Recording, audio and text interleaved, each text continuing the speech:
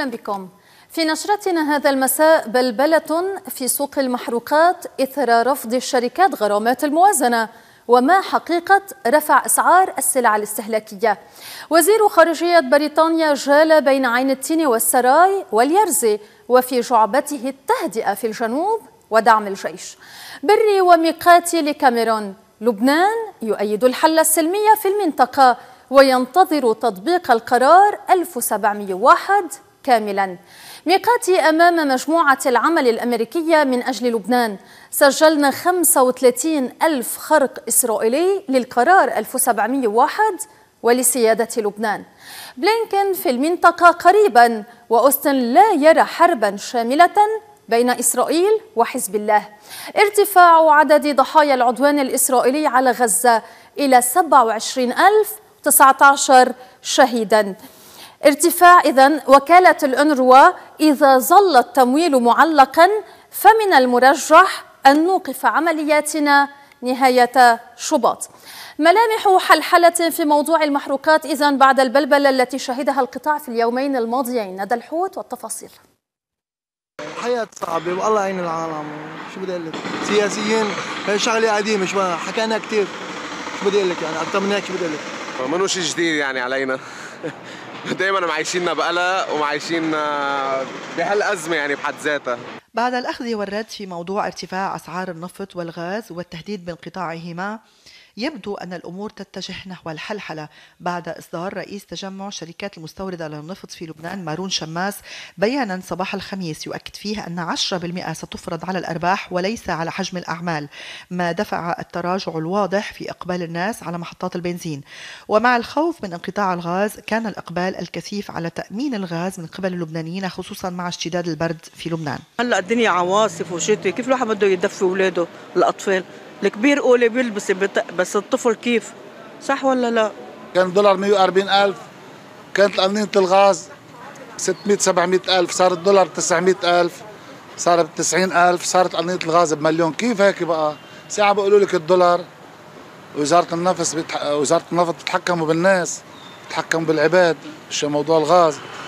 ارحموا من في الأرض يرحمكم من في السماء. عم نعاني كثير أول شيء عم يضغطونا. والمي مبوزة ما عم نقدر نتحمل. إيه. وشو كمان؟ والغاز والكهرباء ما كثير عم تجي عم ناكل الاكل بارد.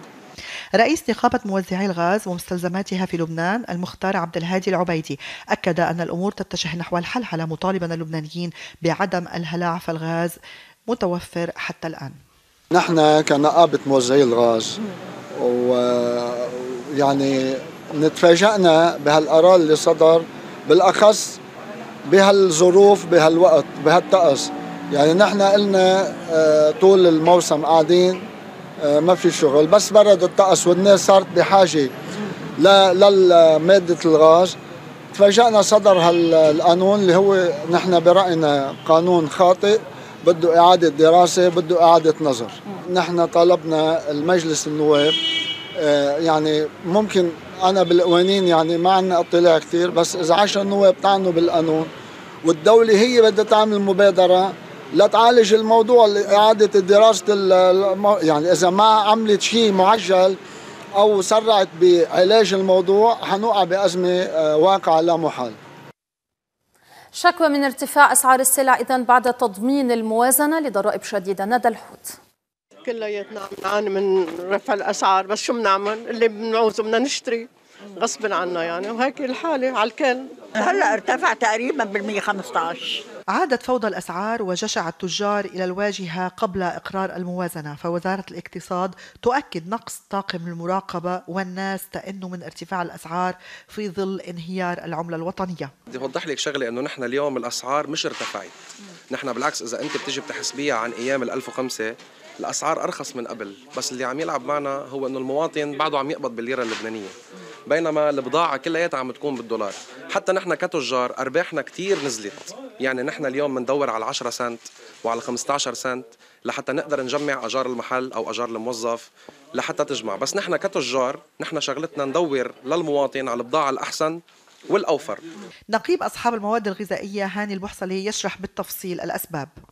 بموضوع ارتفاع أسعار السلع في السوبر ماركت نحن لنكون واضحين قلنا سوف يكون هناك ارتفاع بين 2 و 15% حسب الأصناف لكن هيدي بس للبضائع اللي بتيجي من الشرق الأقصى ومش كلها. ونسبة الارتفاع بتفرق حسب شو هو نوع البضاعة. البضاعة الرخيصة يمكن يحقق ارتفاع أكثر من البضاعة الغالية لأنه نسبة الشحن هي نفسها. لكن آه نحن حددنا الإطار وبالتالي إذا كان في تجاوزات أكثر من هالأمور ما هيدي طبعا برسم آه لجان الرقابة بوزارة الاقتصاد اللي هن على علم وعلى بينة آه، بشو عم بيصير وبيعرفوا شو هي الأصناف اللي غليت شو الأصناف اللي ما لازم تغلى. بقى نحن صحيح اللي عم نحدد الوضع لأنه هذا واقع مش تحليل لكن كمان بالوقت بالمقابل نحن لسنا مع لا رفع الأسعار بطريقة جزافية ولا مع أنه بعض الناس يستغلوا من هذه الأمور لرفع الأسعار أكثر من ما هو مطلوب بقى. هلا هي التأخير آه، يعني هي موضوع البحر الأحمر هو موضوع إقليمي عالمي آه، سوف يؤثر على كل الأطراف مش بس على الاستيراد إلى لبنان. يعني حتى الشركات الأوروبية مثلا تستورد آه، مواد الأولية من الشرق الأقصى وبالتالي سوف يكون هناك تأثير. التأثير اللي حكيناه أول شيء هو مرحلي هو تأخير بين 20 و 25 يوم على وصول هذه البضائع وارتفاع بسعرها آه، جراء ارتفاع الشحن والتأمين. لكن كمان نحن قلنا بمحل تاني إنه بعد فترة لما تمرق وترجع تنتظم سلسلة الإمداد يعني أول شحنة حتتأخر الثانية حتجي وراها وبالتالي ما حيكون هناك تأخير. ونحن أكدنا أنه لن يكون هناك انقطاع في أي من الأصناف. يمكن يكون هناك خربطة في سلسلة الإمداد وبس هيدي هي يعني. طبعا هذا الشيء مؤسف ما فينا نحن آه، نتفاداه لأنه هذا شيء عالمي. لكن حبينا نحن نوضح الموضوع ونحطه ضمن إطاره الطبيعي التجاري مشان ما يكون عليه استغلال. بعد دانييلا وحيان استعدوا لمنخفض جوي جديد. الصقيع لا يفارقنا.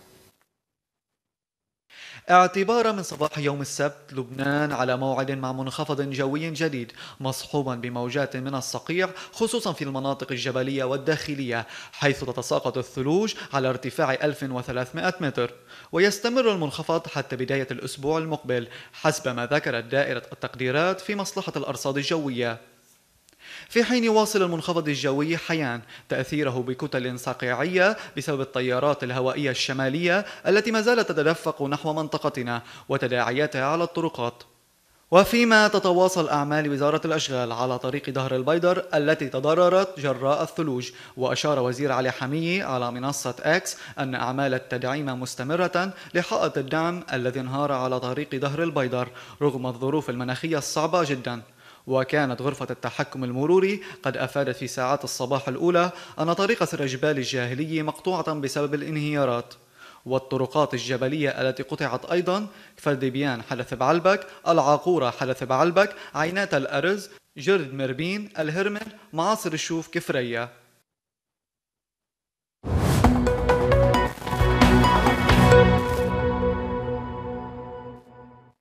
إذا الرئيسين بري وميقاتي لكاميرون لبنان مع تطبيق القرار 1701 موقف لبناني رسمي موحد خلاصة ما سمعه وزير الخارجية البريطاني ديفيد كاميرون خلال جولته على القيادات اللبنانية. لبنان متمسك بالقرار 1701 وينتظر تطبيقه. هذا التوجه عبر عنه الرئيس بري.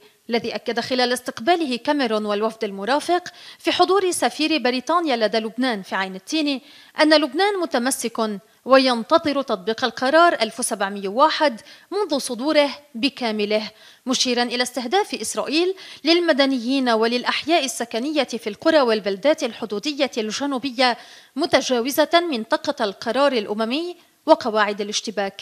وفي الاستحقاق الرئاسي أكد الرئيس بري الحاجة إلى توافق بين اللبنانيين لخصوصيات لبنان والنظام اللبناني لانتخاب رئيس للجمهورية لاستكمال الإصلاح والنهوض الاقتصادي المطلوب. الموقف نفسه تلاه رئيس الحكومة نجيب ميقاتي في السراي الحكومي على مسامع كاميرون والوفد المرافق.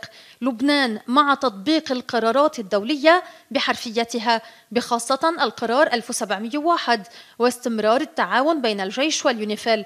وتابع الرئيس ميقاتي بالقول لبنان يؤيد الحل السلمي في المنطقة والدور البريطاني في دعم الجيش أساسي في الدفع بهذا الاتجاه أما كاميرون من جهته فشدد على أولوية وقف إطلاق النار في غزة تمهيدا للانتقال إلى المراحل التالية للحل. الوضع العام في لبنان والمنطقة والتطورات على الحدود الجنوبية كانت محور لقاء كاميرون والوفد المرافق مع قائد الجيش العماد جوزيف عون في مكتبه في اليرزي وخلاصة الاجتماع إعراب أعضاء الوفد الزائر عن دعم بلادهم للجيش في ظل الظروف الاستثنائية التي يمر بها لبنان. ميقاتي أمام مجموعة العمل الأمريكية من أجل لبنان. سجلنا 35 ألف خرق إسرائيلي للقرار 1701 ولسيادة لبنان. جدد رئيس الحكومة نجيب ميقاتي تأكيد التزام لبنان بقرارات الأمم المتحدة بما فيها القرار 1701 الذي يدعو إلى وقف إطلاق النار ونشر الجيش في جنوب لبنان. كما جدد تأكيد احترام قرارات الأمم المتحدة وتنفيذها من أجل الحفاظ على الاستقرار على المدى الطويل في المنطقة. وفي حوار عبر زوم مع مجموعة العمل الأمريكية من أجل لبنان American Task Force for Lebanon برئاسة السيد إدوارد جابرييل قال إن قرار الأمم المتحدة 1701 دعا إلى وقف الأعمال العسكرية بين حزب الله وإسرائيل ونشر القوات المسلحة اللبنانية في جنوب لبنان لكن إسرائيل لم تحترم القرار وسجلنا 35 ألف خرق إسرائيلي لمضمونه بما في ذلك انتهاك سيادة لبنان الجوية والبرية والبحرية. وقال تعمل الحكومة اللبنانية مع اليونيفيل للحفاظ على الاستقرار في المنطقة ومنع أي تصعيد إضافي للتوتر التوتر ومن الضروري أن تحترم كل الأطراف المعنية قواعد الاشتباك والقانون الدولي. من أجل منع أي صراع آخر. وشدد على أن الحوار والدبلوماسية هما المفتاح لحل أي خلافات أو توترات في المنطقة. والحكومة اللبنانية ملتزمة بالعمل من أجل التوصل إلى حل دبلوماسي. ومع ذلك فإن الوقف الفوري في غزة أمر لابد منه حتى تنتصر الدبلوماسية على العنف والحرب. وردا على سؤال قال لقد شكل الفراغ الرئاسي في لبنان تحديات كبيرة خلال هذه الأوقات العصيبة. وقد أدى غياب الرئيس إلى غياب الحكم الدستوري. وتعمل مجموعة الدول الخمس على حل الفراغ الرئاسي بما في ذلك التواصل مع مختلف الأطراف والأحزاب السياسية للتوصل إلى توافق حول ملف الرئاسة. ومع ذلك فقد أعاقت الانقسامات السياسية والعوامل الخارجية هذه الجهود مما جعل من الصعب التوصل إلى حل. ودعا إلى أن يتحمل جميع النواب المسؤولية بشكل صحيح لمصلحة لبنان وأن يعملوا بجدية على انتخاب رئيس. وعن المحادثات التي أجراها مع المفاد الرئاسي الأمريكي أيموس هوكستين في بيروت قبل فترة قال كان واضحا في القول إن المطلوب حل دبلوماسي يسمح لأبناء الجنوب بالعودة إلى مدنهم وقراهم وكذلك سكان شمال إسرائيل. نأمل أن نتمكن من مواصلة العمل في هذا الجهد للتوصل معا إلى حل يسمح للجميع بالعيش في أمان والعودة إلى وطنهم وأضاف من جهة أكدت له أن الحوار والدبلوماسية هما المفتاح لحل أي نزاعات أو توترات في المنطقة وأن الحكومة اللبنانية ملتزمة بالعمل من أجل التوصل إلى حل دبلوماسي. أشارت معلومات صحفية إلى أن المبعوث الفرنسي جان إيف لودريان سيزور لبنان قريبا في إطار جهود الخماسية الدولية الهادفة لإحداث خرق في جمود الملف الرئاسي.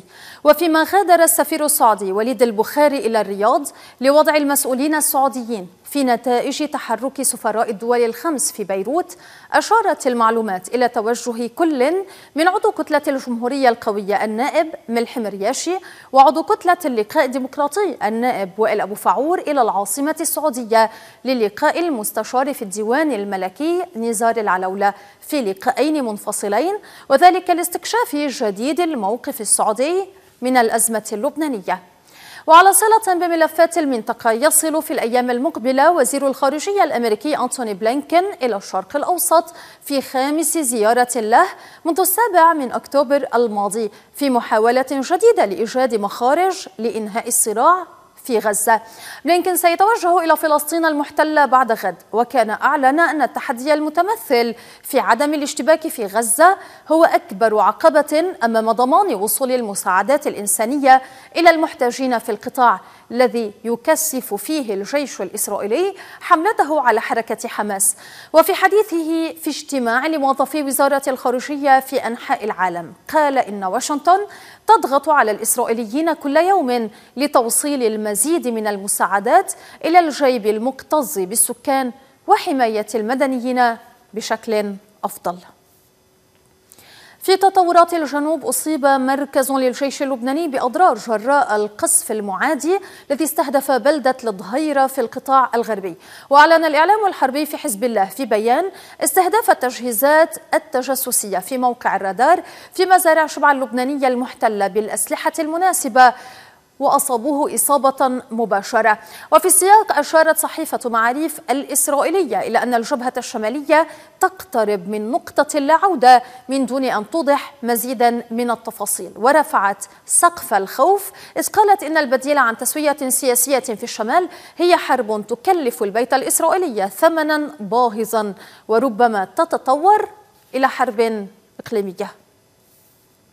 أفادت خمسة مصادر مطلعة لوكالة رويترز بأن الحرس الثوري الإيراني قلص انتشار كبار ضباطه في سوريا بسبب موجة من الضربات الإسرائيلية وسيعتمد بشكل أكبر على الفصائل المتحالفة معه للحفاظ على نفوذه. ونقلت كذلك مصادر أن الحرس الثوري سيدير العمليات السورية عن بعد وسيعتمد آه، على مساعدة حزب الله في ذلك. وذكرت ثلاثة مصادر لرويترز كذلك أن قرار إيران بسحب كبار ضباطها يرجع جزئيا إلى نفورها من الانجرار مباشرة إلى صراع محتدم في الشرق الأوسط.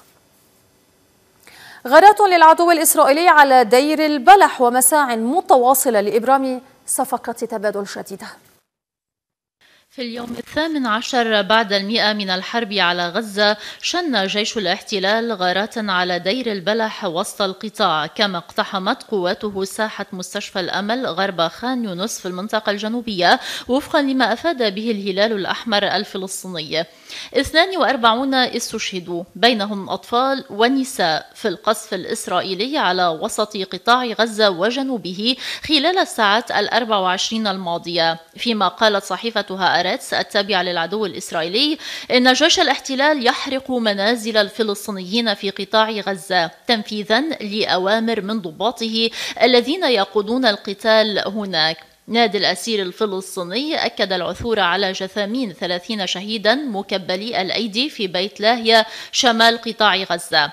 سياسيا تتوالى التصريحات بشأن فرص التوصل إلى اتفاق لتبادل الأسرى ووقف القتال وسط أنباء عن ضغوط أمريكية من أجل الوصول إلى وقف إطلاق نار طويل الأمد. هيومن رايتس ووتش أشارت إلى أن حجب الأموال عن الوكالة الأممية الأكثر قدرة على توفير الغذاء والماء والدواء الضروري بشكل فوري لأكثر من مليونين وثلاثمائة ألف شخص في غزة يظهر لا مبالاة قاسية تجاه ما حذر منه كبار الخبراء في العالم من خطر المجاعة الذي يلوح في الأفق. مدير عمليات الطوارئ في منظمة الصحة العالمية مايكل راين لفت إلى أن هناك سكانا في قطاع غزة يموتون من الجوع ويتم دفعهم إلى حافة الهاوية وهم ليسوا جهات في هذا النزاع. ويجب حمايتهم كما يجب حماية مرافقهم الصحية. وكيل الأمين العام للأمم المتحدة للشؤون الإنسانية مارتن جريفيث شدد على ضرورة اتخاذ خطوات عاجلة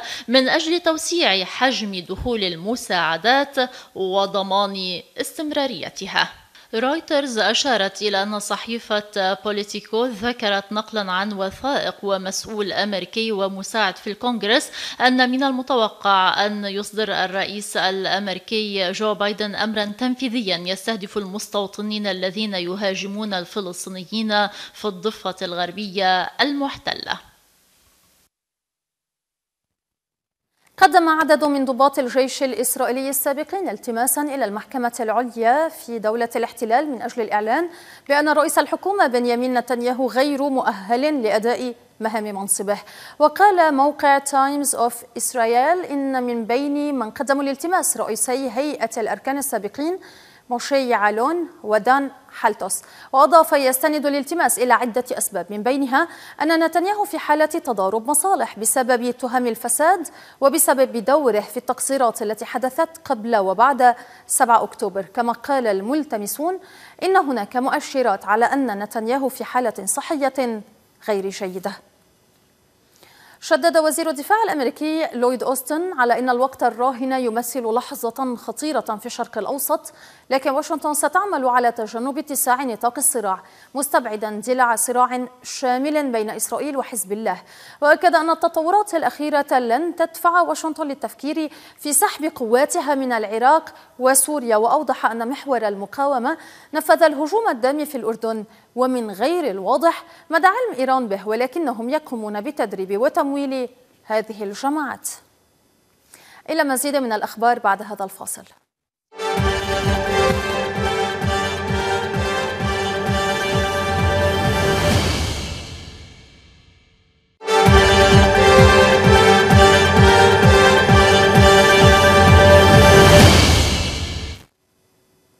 أهلا بكم من جديد في خبر ورد منذ بعض الوقت أعلن المتحدث باسم الخارجية القطرية أن إسرائيل وافقت على مقترح وقف إطلاق النار ولدينا تأكيد إيجابي أولي من حركة حماس. في عين التين رئيس مجلس النواب نبيه بري استقبل وفدا من المديرية العامة لرئاسة الجمهورية. ضم المدير العام للقصر الجمهوري أنطوان شقير مدير المراسم والعلاقات العامة الدكتور نبيل شديد ورئيس مجلس الأوسمة علي حمد. وسلم شقير رئيس المجلس التقارير السنوية للمديرية العامة في رئاسة الجمهورية عن سنوات 2020 2021 و2022 كما جرى عرض لأوضاع المديرية العامة لرئاسة الجمهورية. سلسلة لقاءات للرئيس ميقاتي في السرايا الحكومية والنائب أبو الحسن يتحدث عن أهمية وقف إطلاق النار في غزة والتأثيرات الإيجابية لذلك على لبنان. نشاط حافل لرئيس الحكومة نجيب ميقاتي في السرايا الحكومية. حيث بحث مع وزير الداخلية والبلديات بسام المولوي في حضور محافظ بيروت القاضي مروان عبود والعقيد خالد يوسف في شؤون الوزارة. وفي السرايا الحكومية النائب هادي أبو الحسن ورئيس مجلس الإنماء والإعمار نبيل الجسر ورغم الطابع الإنمائي للزيارة إلا أنها كانت مناسبة للبحث في المخاطر من جراء العدوان الإسرائيلي في الجنوب وأهمية تحصين الداخل اللبناني. كما من جهة ثانية كان تجديد من الزوار على مطلب للحكومة لتطبيق القانون رقم 174 على 2020 الذي أجاز للحكومة البدء بالدراسات لإقامة وإنشاء أوتوستراد ونفق بيروت البقاع. أبدى دولة رئيس مجلس الوزراء كل تجاوب من حيث إطلاق الخطوة العملية الأولى للبدء بالدراسة. وكلف رئيس مجلس الماء والأعمار بإجراء التحضيرات اللازمة لهذا الأمر وسيكون هناك خطوات تلي هذا التوجه خطوات عملية للمباشرة في تنفيذ هذه الدراسة وكان التأكيد أيضا على ضرورة إعطاء الأهمية القصوى لتعزيز الهيئة العليا للإغاثة. ولتعزيز موازنة وزارة الأشغال التي هي غير كافية عسى أن تحمل المرحلة المقبلة انفراجات وعسى أن يحصل وقف إطلاق نار في غزة. وهذه فرصة آه، مهمة تكون كي يحصل وقف إطلاق نار آه، في الجنوب اللبناني. ولابد أن تنطلق العملية السياسية وبداية انطلاق العملية السياسية يكون بإعادة انتخاب بضرورة انتخاب رئيس للجمهورية ولاحقا انتظام العملية الدستورية. ومن زوار الرئيس ميقاتي النائب محمد سليمان وجرى البحث في الأوضاع العامة وشؤون منطقة عكار كما استقبل الرئيس ميقاتي المديرة الإقليمية لمنظمة العمل الدولية روبا الجردات باسيل أمام وزير خارجية هنغاريا الحل بالنسبة للفلسطينيين هو حل الدولتين وبالنسبة للبنان وسوريا والعرب هو وفق مبادرة بيروت. للسلام.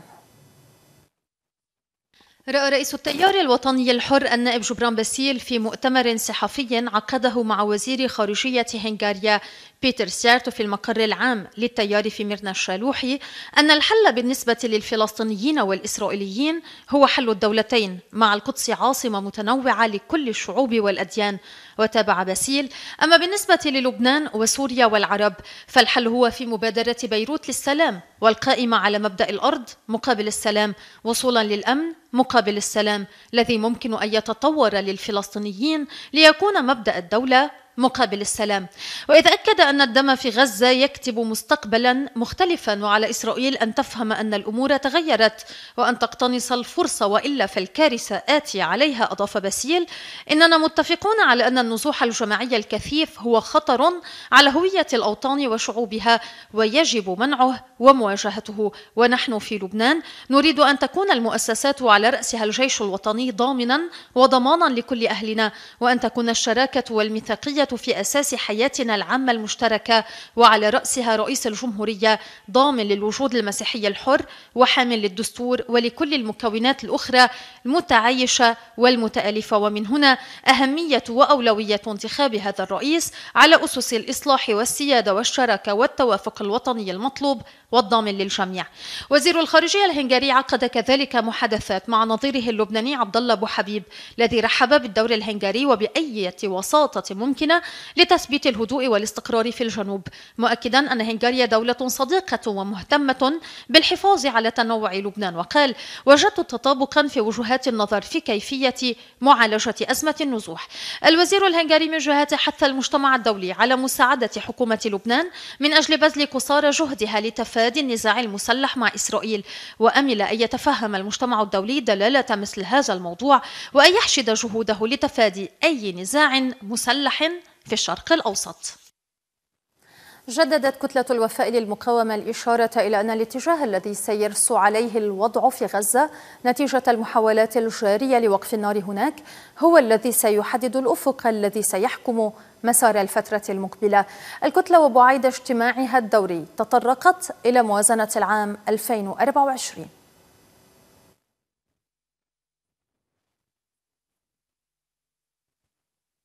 إن الموازنة العامة للدولة اللبنانية عن العام 2024 ميلادية والتي أقرها مجلس النواب بالأمس القريب. هي المرآة التي عكست واقع الحال المالي والاقتصادي في البلاد وهو واقع مرير كارثي يتطلب تداركا واستنهاضا في أكثر من مسار ومجال وبالأخص لجهة معالجة حقوق موظفي القطاع العام.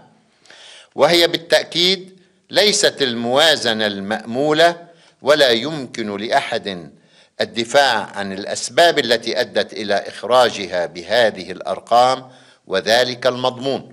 إنها موازنة ترطيب رمق البلد ليبقى لديه إمكانية وقدرة على التنفس والتحرك بما يعزز الواردات ويفسح ولو بشكل بسيط بالتحرك المنتج لتحقيق نمو مطلوب حتى تستقيم الحال في المستقبل.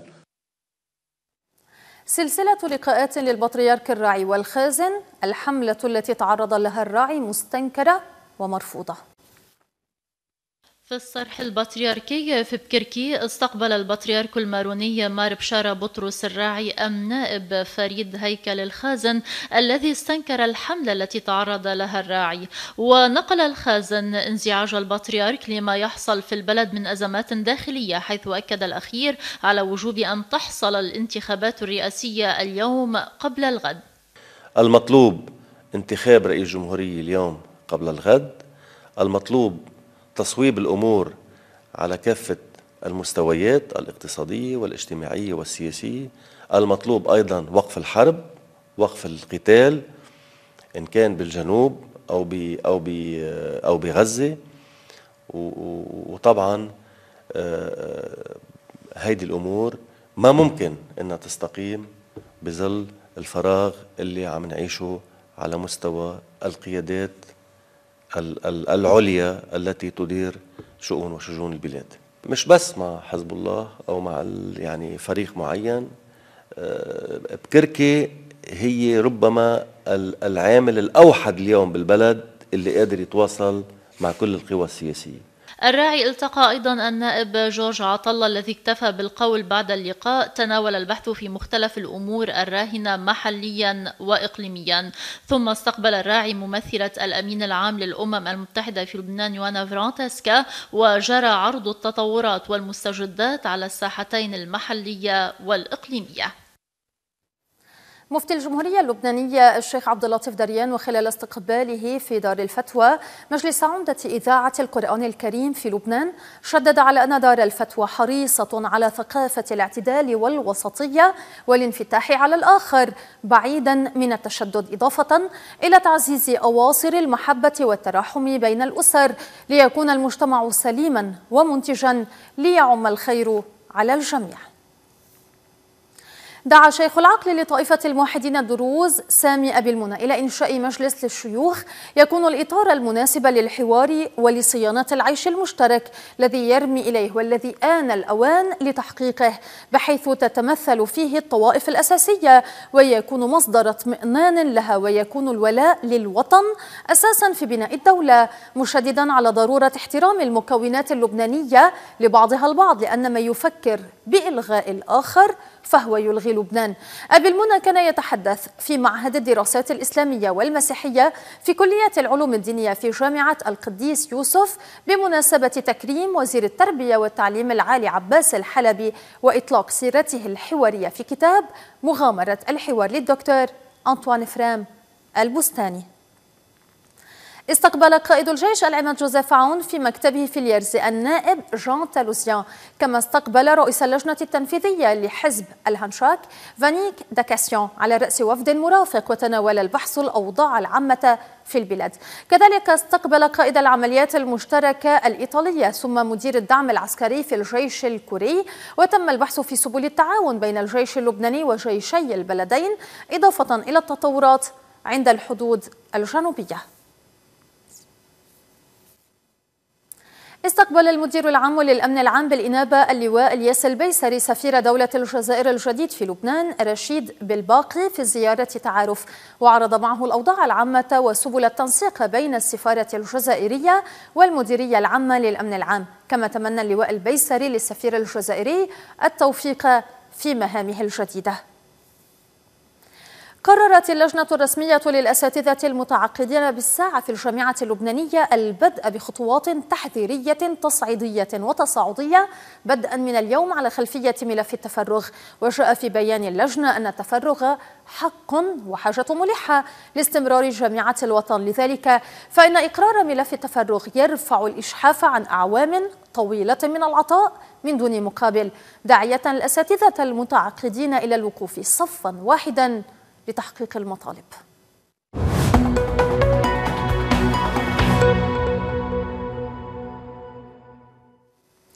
أعلنت القيادة المركزية الأمريكية أن قواتها شنت ضربات ضد محطة تحكم أرضية لطائرات بدون طيار تابعة للحوثيين وكذلك ضد عشر طائرات مسيرة انقضاضية تابعة لهم مشيرة إلى أن هذه الخطوة ستحمي حرية الملاحة وتجعل المياه الدولية أكثر أمانا للسفن البحرية الأمريكية والسفن التجارية.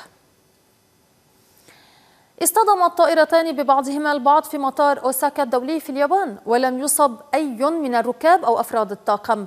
يذكر أن هذا الحادث ليس الأول من نوعه في الفترة الأخيرة. فقد وقع حادث مماثل يوم 16 كانون الثاني وصرح الناطق باسم شركة الطيران بأن الحادث وقع بينما كانت الطائرة التابعة للخطوط الجوية الكورية. تستعد للإقلاع.